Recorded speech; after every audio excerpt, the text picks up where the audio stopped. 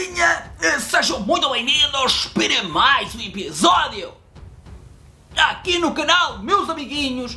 Esta altura vocês vão dizer: Oh Cadacho, oh Jesus, oi Nossa Senhora, vais lançar aqui um episódio de 47 minutos? Não, não, não, não. não. É um episódio ah, extremamente pequenininho, pequenininho, como o que vocês já sabem, como a vossa pilota.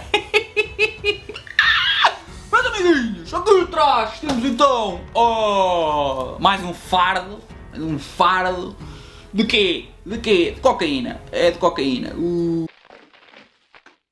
Cocaína.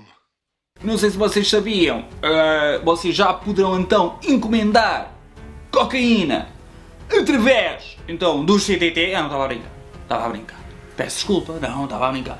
Mas amiguinhos, uh, o cadastro sente-se um, na obrigação então de vos dar um updatezito de como está a minha coleção de Yu-Gi-Oh! Oh, Eu neste episódio não vos vou mostrar tudo outra vez, ou seja, quando, quando eu recebo um jogo novo não vos vou mostrar tudo outra vez, mas se calhar, sei lá, depois quando receber mais qualquer coisita, pá, a vez a seguir, eu mostro então como está a ir a coleção. Eu encontrei num grupozinho uh, de leilões então este jogo em leilão e eu disse assim, epá, não tenho este jogo, eu vou aproveitar.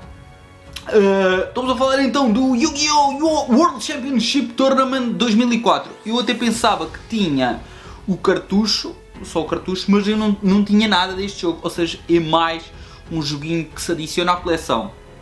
Uma coisa que eu vou me esquecer de certeza absoluta e vou já dizer, como vocês sabem, eu andava a fazer, e ainda ando, uma série dos jogos de Yu-Gi-Oh! por ordem cronológica. Eu agora fui ver as visualizações daquilo e aquilo tem para aí 70 visualizações. Não estava não estava à espera, não, pessoal. Pensava que, opá, como é Yu-Gi-Oh! e é um nicho, como vocês sabem, é um nicho pequeno, nem toda a gente gosta.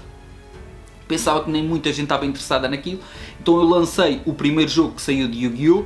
Um, e, epá, e depois uh, varreu-se-me e nunca mais lancei o segundo. É uma série que eu quero continuar e ver se lança então o segundo jogo que saiu um, uh, de Yu-Gi-Oh! Ver se trata disso o mais rapidamente possível. Pessoal, eu não sei onde é que este se enquadra no meio disso tudo, mas provavelmente também aparecerá uh, numa série. Como eu disse, então este é o World Championship Tournament 2004 e antes de terminar o vídeo gostaria de referir duas coisinhas extremamente rápidas. Quase todos! Hum, todos os jogos de Yu-Gi-Oh! trazem então um, três cartas limitadas, três ou mais, não sei, normalmente são três cartas, ok? E, e eu já comprei muito jogo de Yu-Gi-Oh! e é, é mesmo raro, eu não, eu não tenho nenhum, eu não tenho nenhum que trouxesse lá as cartas dentro.